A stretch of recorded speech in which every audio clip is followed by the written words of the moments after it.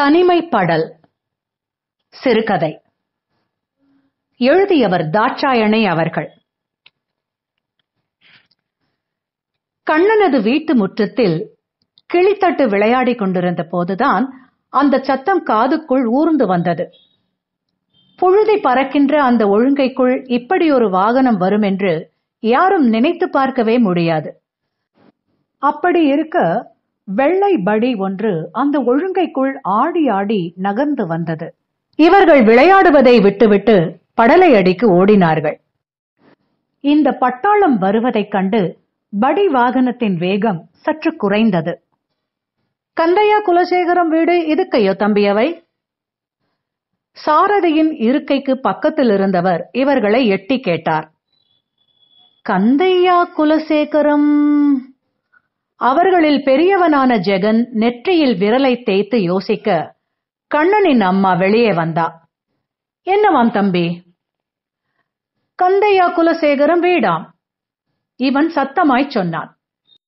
முற்றத்து மரத்திலிருந்த குருவி ஒன்று கூட சேர்ந்து கிரீச்சிட்டது. ராசாத்தி வீட்டை தான் அப்பன் கேட்கிறாங்கள்? ஆ அந்த முடக்கிலே திரும்புங்கோ. அதுக்கு பிறகு வலப்புறமா வார மூன்றாவது வீடு. ஜெகன் கை காட்டி விளக்க படி கொஞ்சமாய் வேகம் எடுத்து முடக்கில் திரும்பியது. ஆறு போறது?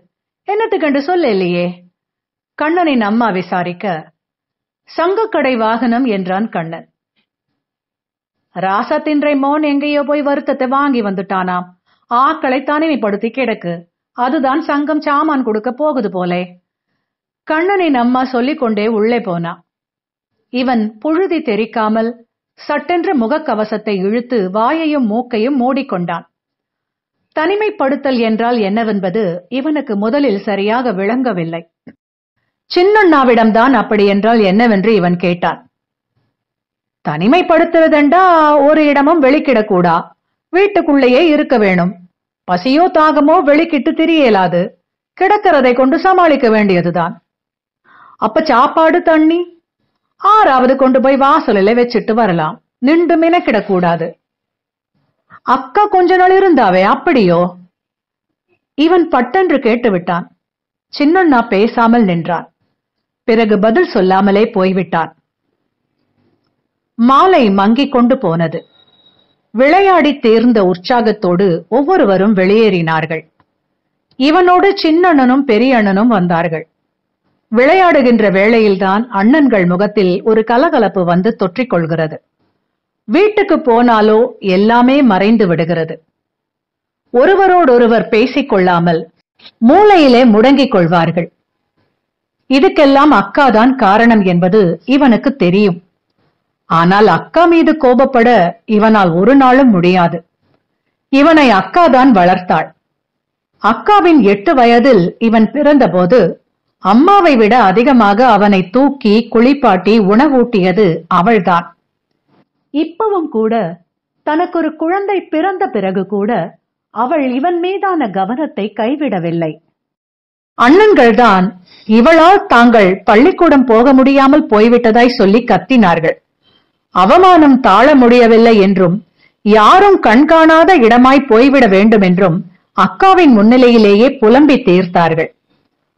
அம்மா செய்வதறியாது திணறினா.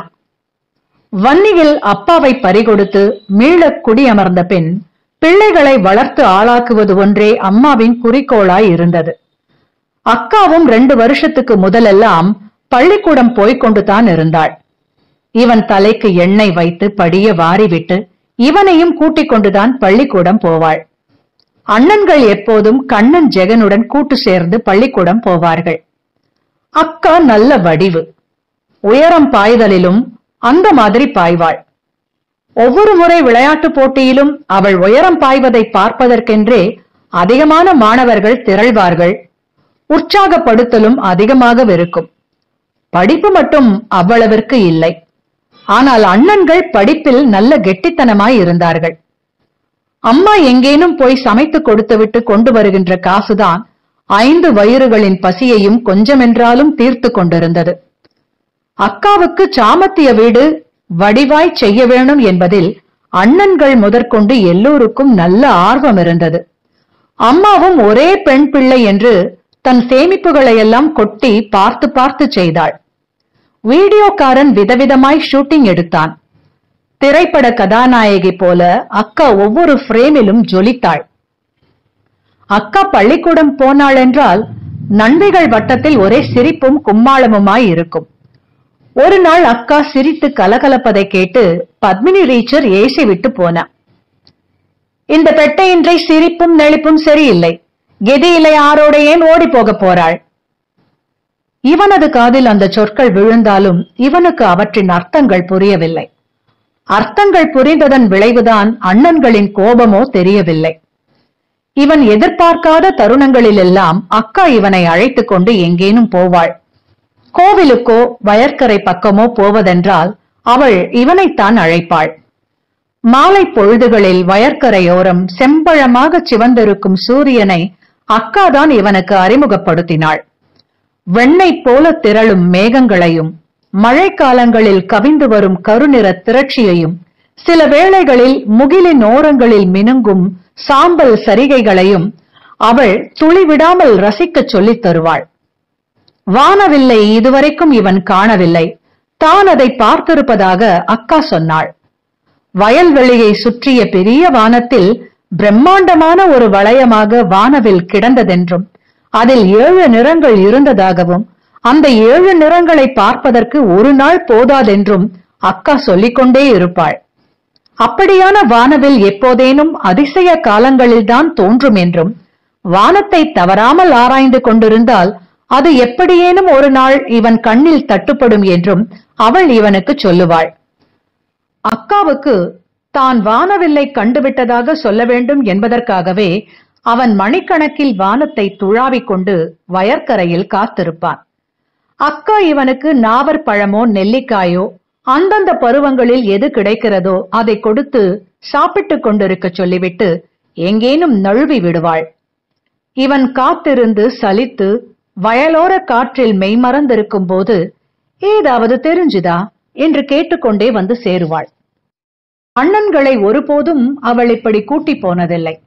அதனால்தான் அண்ணன்களுக்கு அக்கா மேல் கோபமோ? ஒரு நாள் அம்மா அக்காவை பேய் போல அடித்துக் கொண்டிருந்தா. அக்கா முதல் முதலாக அம்மாவை எதிர்த்து கதைத்துக் கொண்டிருந்தாள். அண்ணன்களும் கூட சேர்ந்து சத்தம் போட்டார்கள். அவர்களும் அதற்கு பிறகு பள்ளிக்கூடம் போகாமல் நின்று விட்டார்கள். பின்னர் தான் அக்காவும் தனிமைப்படுத்தப்பட்டதாக இவனுக்கு ஞாபகம் வந்தது. இவன் மட்டும் பள்ளிக்கூடம் போவது போலவே அந்த வயற்கரைக்கும் போய் வந்து கொண்டிருந்தான். அக்கா வராவிட்டாலும் இவன் அந்த வானவில்லை கண்டுபிடித்து விட வேண்டும் என்ற தீராத தாகம் அவனை வயற்கரைக்கு இழுத்துச் சென்று கொண்டிருந்தது. யாரும் அக்காவோடு பேசாவிட்டாலும் இவன் ஒவ்வொரு பொழுது இருண்டு வீடு திரும்பிய பிறகும் அக்காவிடம் சென்று அந்த வானவில் அகப்படாத தனது வேதனையை அவளிடம் பகிர்ந்து கொள்வான். எதுவும் பேசாமல் மௌனமாக இருக்கும் அக்கா அத்தருணங்களில் மட்டும் அவனிடம் சொல்வாள். மழைக்காலங்களிலே தானப்பன் வானவில் வரும். நான் தான் நம்பி ஏமாந்துட்டன். நீயும் வானவில்லை தேடுறன் என்று உன்றை காலத்தை வீணாக்கி போடாமல் படியப்பன். அக்கா மனதார உணர்ந்து அவனிடம் மன்னிப்பு கோருவது போல சொல்லுவாள். இவன் அக்காவுக்கு அருகே போய் அவள் கால்களை கட்டிக்கொள்வான். நீயும் என்னை விட்டுட்டு போவனடா? உனக்கென்ன என்னிலை புது பாசம்? அவள் இவனை உதறி விடுவாள். இவன் மறுபடியும் போய் அவள் கால்களை கட்டிக்கொள்வான். அவள் குலுங்கி குலுங்கி நெடுநேரம் அழுது கொண்டே இருப்பாள். கொஞ்ச நாளில் அக்காவின் வயிறு பெருக்கத் தொடங்கியது. வகுப்பில் ஒவ்வொரு பிள்ளைகள் வீட்டிலும் அவர்களது தாய்மாரின் வயிறு பெருத்து அவர்கள் வீட்டில் தம்பியோ தங்கையோ பிறந்ததை சொல்ல கேட்டிருந்தான் ஆனால் இவனுக்கு தம்பியோ தங்கையோ பிறக்க பார்க்கும் சந்தர்ப்பம் வாய்க்கவில்லை. அதனால்தானோ அக்காவுக்கு வயிறு பெருக்க பார்க்க முடிந்தது. மாதக்கணக்காய் அண்ணன்கள் பாடசாலைக்கு போகாமல் நின்றார்கள். பாடசாலையில் மாணவர்களும் ஆசிரியர்களும் கதைக்கின்ற குத்தல் கதைகளை எதிர்கொள்ள முடியாமல் இருப்பதாய் சொன்னார்கள். அக்கா அழுது கொண்டே இருந்தாள். அவர் வருவர். அவர் வருவார் இன்னும் புலம்பல் வேறு. அந்த புலம்பல் அண்ணன்களுக்கு இன்னும் எரிச்சலை கொடுத்தது. என்னென்று வருவான்? ஏற்கனவே கல்யாணம் கட்டி பிள்ளை குட்டிகள் என்று உள்ளவன் என்னென்று வருவான்? அதோட செய்த பாவம் போதாதென்று அந்த குடும்பத்தின் பழிபாவத்தை சுமக்கிறதுக்கோ அவன் இஞ்சை வரணும் என்று நினைக்கிறது? அக்கா ஒரு தரம் அரளி விதைகளை அரைத்து தின்று கொஞ்ச காலம் ஆஸ்பத்திரியில் கிடந்தாள். குழந்தையை யாரிடமாவது தத்து கொடுக்க சொல்லி அம்மா எவ்வளவோ கதைத்து பார்த்தா. அக்கா ஒத்துக்கொள்ளவில்லை. அண்ணன்கள் அதற்கு பிறகு அவளை திட்டுவதை நிறுத்தி இருந்தார்கள். அவளும் யாருடனும் பேசவில்லை. பிரதேச செயலகத்திலிருந்து சில அலுவலர்கள் வீட்டுக்கு வந்து அண்ணன்களை கூப்பிட்டு மணித்தியால கணக்காக கதைத்த பிறகு அண்ணன்கள் பள்ளிக்கூடம் போக ஒப்பினார்கள். கொஞ்ச நாளில் அக்காவுக்கு குழந்தை பிறந்தது. பட்டு போல இருந்த குழந்தையை பார்க்க யாரும் வரவில்லை. மாதக்கணக்காக பிள்ளைக்கு பெயர் பதியப்படாமல் இழுபட்டது. பிள்ளையின் தகப்பன் என்று அவன் கையெழுத்து வைக்க வேண்டும் என்று மட்டும் அக்கா பிடிவாதமாயிருந்தாள். கிராம அலுவலரது உதவியினால் அவன் வந்து கையெழுத்து போட்டான். அக்கா அவன் வந்தபோது அவனை திரும்பி பார்க்கவில்லை. தன் குழந்தையை அவனுக்கு காட்டவும் இல்லை. வயற்கரை ஓரங்களில் வானவில்லுக்கு காத்திருந்த காலங்களில் அவன் ஒரு நிழல் போல கண்களில் தட்டுப்பட்டதாக இவனுக்கு இப்போது ஞாபகம் வந்தது. அக்காவுக்கு எல்லோருமே சேர்ந்து அநியாயம் செய்து விட்டார்கள் என்று இவனுக்கு தோன்றியது. அண்ணன்கள் அக்காவின் குழந்தையை தொட்டு பார்ப்பார்கள் என்றோ அதனை வளர்த்து ஆளாக்குவார்கள் என்றோ அவனுக்கு தோன்றவில்லை. அக்காவோடு சேர்த்து அந்த குழந்தையின் பொறுப்பும் தன்னுடையதென்று நினைத்துக் கொண்டான். எல்லோரும் இருந்தும் யாருமே அற்றது போல அந்த குழந்தை வளர்வதை இவன் விரும்பவில்லை. அதன் வாழ்க்கையை செழிப்பாக்கும் வழிவகைகளும் இவனுக்கு தெரியவில்லை.